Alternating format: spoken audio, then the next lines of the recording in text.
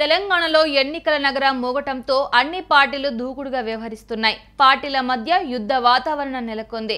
ఇప్పటికే తెలంగాణలో ఎన్నికల కోడ్ అమల్లోకి రాగా పార్టీలు తమ ప్రచారాన్ని ముమ్మరం చేశాయి. ఇదే సమయంలో కోడ్ ఉల్లంఘనలకు పాల్పడుతున్న వారిపై ఎన్నికల సంఘం అధికారులు కేసులు నమోదు చేశారు.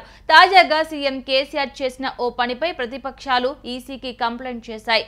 దీంతో రంగంలోకి దిగిన ఈసీ ప్రగతి భవన్కు నోటీసులు జారీ చేసింది. రెండు నెలల క్రితమే అభ్యర్థులను ప్రకటించిన సీఎం కేసీఆర్ వారం క్రితం మేనిఫెస్టో కూడా రిలీజ్ చేశారు.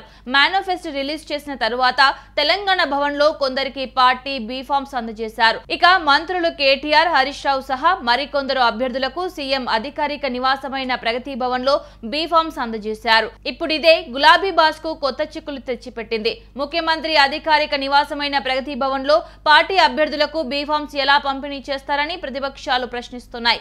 ఈ మేరకు ఎన్నికల సంఘానికి ఫిర్యాదు కూడా చేశారు. సీఎం అధికారిక నివాసంలో ప్రభుత్వ అధికారిక కార్యక్రమాలు నిర్వహించాలని పార్టీ కార్యక్రమాలు ఏవైనా ఉంటే తెలంగాణ భవన్లో చూసుకోవాలని ఫిర్యాదులో పేర్కొన్నారు. ప్రగతి భవన్ బీఆర్ఎస్ పార్టీ కార్యాలయం కాదని అది ముఖ్యమంత్రి అధికారిక నివాసమని చెప్పారు. ఎన్నికల కోడ్ ఉల్లంఘించి సీఎం కేసీఆర్ పార్టీ అభ్యర్థులకు అక్కడ బీఫామ్స్ అందజేశారని ఈ అంశంపై తక్షణమే చర్యలు తీసుకోవాలని ప్రతిపక్ష పార్టీలు ఈసీని కోరాయి. ఈ ఫిర్యాదు ఎన్నికల సంఘం అధికారులు స్పందించారు.